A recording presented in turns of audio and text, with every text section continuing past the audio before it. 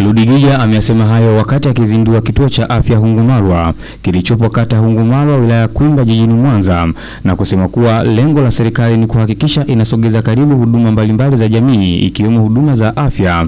Hivyo wazee ambao wana uwezo wa kulipia huduma wanatakiwa kuisaidia serikali na kuwaacha wasio na uwezo wapate msamaha huo ili zahanati na vituo vya afya viweze kuendelea kutoa huduma. Kwenye hasa kwenye miaka sitini na kuendelea, ndugu zangu, miaka sitini sio wote wazee wenye miaka sitini, wengine wana bima, wakija hapa watibiwe bure.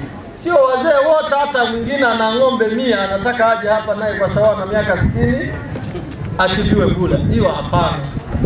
Kwa maelekezo yangu, mtendaji wa kata na wazee wote wale ambao hawajiwezi ndani ya kata hii, mtatengeneza utaratibu wa kuwapa vitambulisho. Mkurugenzi mtendaji wa halmashauri ya Kwimba Happiness Msanga amesema kituo hicho kilianza kujengwa mwaka 2022 na kwa sasa kitaanza kuhudumia wagonjwa wa nje, maabara, huduma za mama na mtoto, huku huduma za upasuaji zikitarajiwa kuanza mwezi wa saba baada ya vifaa kufungwa.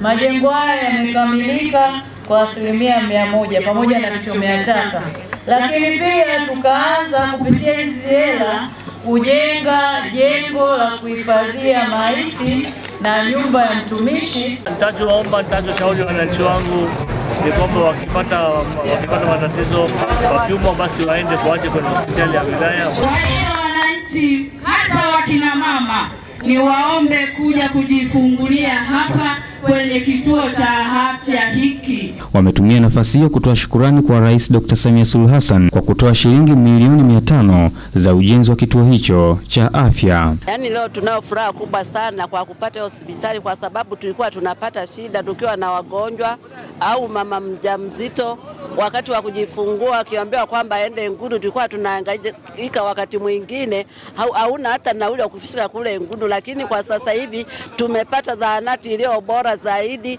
Ni jambo la kumshukuru Mwenyezi Mungu kwa sababu nilikuwa ni kilio cha, cha siku nyingi kwamba siku moja na sisi tungepata tungepata kituo cha afya kama leo hii. Kwa hiyo ni jambo la kumshukuru Mungu. Kata ya Hungumalwa ni miongoni mwa kata 30 za wilaya ya Kwimba ambao vijiji vyake vyote vinne vina zahanati na kuzinduliwa kwa kituo hicho cha afya kimetajwa kuwapunguzia kutembea umbali wa zaidi ya kilomita 20 kwa wakazi wake kwenda hospitali ya wilaya iliyopo Ngudu. Adam Damian, Star TV.